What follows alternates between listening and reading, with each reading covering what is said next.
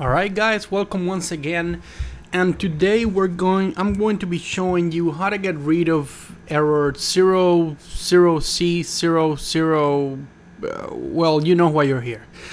Anyways um, this error is like very very annoying very annoying. And most recently it's been notorious for popping up with uh, Evolve and Dying Light but it has also been reported to cause problems with Watch Dogs, Assassin's Creed, and a bunch of other cool games.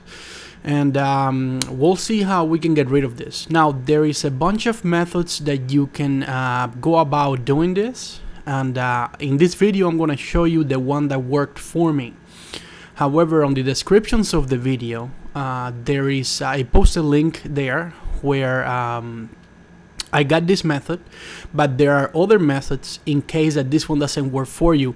But 90% of the time, this is related to uh, bad DLLs or corrupted DLLs.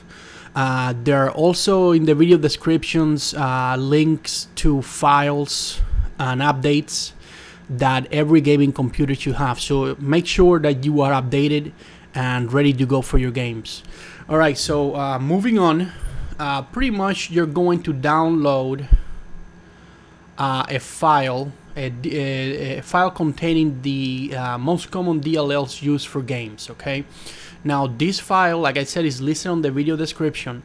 Uh, is going to contain a folder called Windows and that window and that Windows folder is going to contain a folder named System32 and SysWow64 each of these contain few DLLs there and this one contains another DLLs.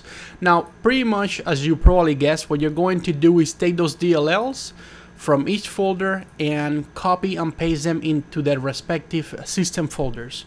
So I already have them, uh, for simplicity's sake, have those folders right up here. And pretty much what you do is that you copy and paste them uh, into their corresponding folder.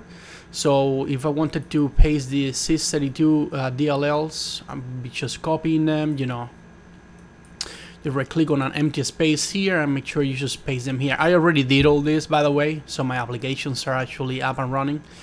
And um, so that should fix your problem. This is what fixed my problem after trying a bunch of things like running the applications into administrator mode and going into the properties and changing it to compatibility modes with an earlier versions of the operating system of the Windows OS and things like that.